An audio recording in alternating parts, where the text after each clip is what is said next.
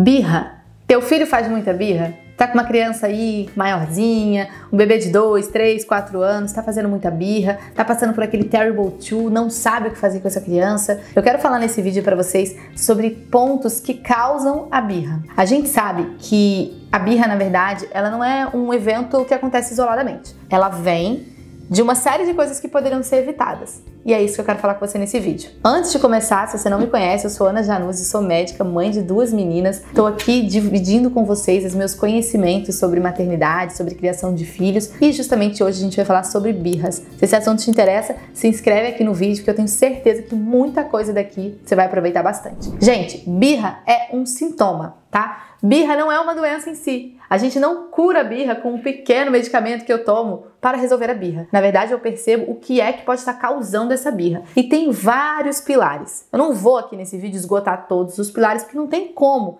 Afinal, a gente está falando de seres humanos extremamente complexos, profundos, que têm uma diversidade muito grande, mas a gente sabe que tem vários pontos em comum que podem causar birra. E o primeiro deles, sendo eu uma pessoa que trabalha com sono de crianças, já tenho mais de 20 mil famílias que estão me acompanhando aí para melhorar o sono dos seus filhos e das suas crianças maiores, é o sono. Eu não posso parar de falar do sono, gente, porque sono é um negócio que impacta em tudo, inclusive na birra. Pois é, a gente sabe que o sono pode aumentar o risco dessa criança ter birras por um motivo muito simples, por conta do nosso córtex pré-frontal. Já ouviu falar nele? Córtex pré-frontal é uma estrutura que tem no desenvolvimento cerebral de todos os seres humanos que vem com o desenvolvimento da humanidade, né? Com o passar dos anos, dos milhares de anos, a nossa convivência em grupo e a necessidade de impor certos limites, de definir certas condutas em grupo, de decidir certos caminhos que não necessariamente são os melhores para mim naquele momento, mas uma decisão mais complexa que envolve uma série de fatores, o meu córtex pré-frontal está extremamente ativo nesse momento, nessas decisões. Só que, como nada é perfeito na vida, a criança nasce com o córtex pré-frontal de geleia. E tem gente, né, gente, que até hoje não conseguiu desenvolver. O córtex pré-frontal ele termina o seu desenvolvimento por volta dos 18 a 20 anos de idade. Pois é, ao longo da infância, da adolescência, ali, dos primeiros anos do jovem adulto, o córtex pré-frontal ainda não está plenamente formado. Ou seja, a gente pode ter atitudes impulsivas, atitudes perigosas para o, para o grupo, atitudes desagradáveis, atitudes sem limite, só por causa do córtex pré-frontal. E quem é o maior disruptor do córtex pré-frontal? Aquele que vai e atrapalha o funcionamento do córtex pré-frontal de todo mundo? Pois é, o sono. Você aí, quando não consegue dormir direito, não fica extremamente irritada?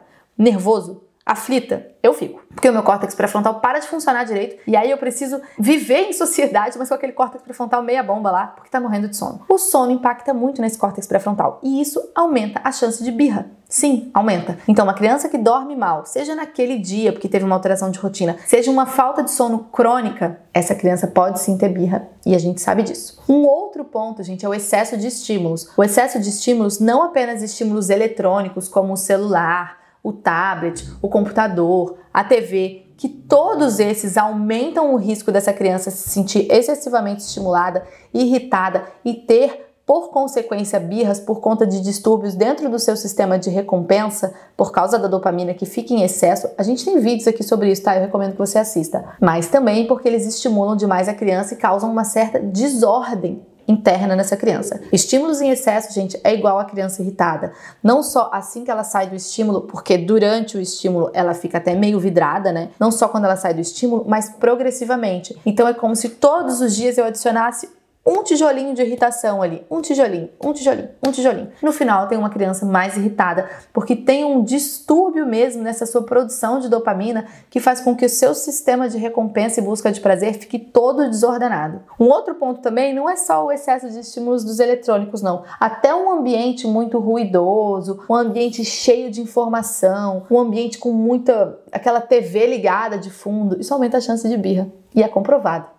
Veja se não está acontecendo isso aí na sua casa. Uma outra coisa que pode acontecer e que causa birras, e que vai acontecer com todas as crianças é justamente a criança que está provando a sua autonomia. É o que a gente chama de prova de autonomia. Ou seja, eu estou crescendo, O meu objetivo maior na vida é justamente me tornar um adulto autônomo, ainda que eu não saiba disso, mas no meu desenvolvimento eu preciso fazer determinadas coisas para ter autonomia. Eu preciso pegar esse batom, quando eu tenho dois anos de vida, um ano e meio, dois anos e meio, e encaixar esta tampa neste batom.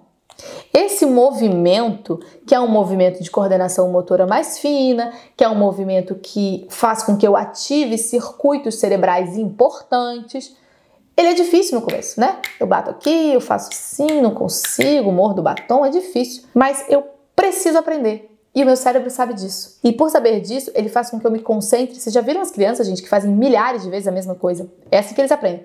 Preciso fazer. Opa, consegui. O que, que acontece quando eu consigo? A minha autoestima explode, vai lá em cima. Estima de si é extremamente importante para o bom desenvolvimento. Agora, o que, que acontece se eu estou aqui tentando, tentando, tentando? Aí vem o meu adulto, a minha mãe, meu pai, tira e fala: Ah, você não pode mexer nisso. E tira da minha mão. Ou, ah, você não consegue, deixa eu fechar para você. Ou, ah, você está demorando muito, deixa eu botar aqui. Eu interrompo um processo extremamente importante do desenvolvimento da criança, que é a construção de autonomia. O que, que acontece nesse caso, gente? Birra e das bravas, né? É na hora de calçar o chinelo, é na hora de botar a roupa. Mamãe, eu consigo, não quero que você me ajude. É na hora da gente é, fazer qualquer coisa.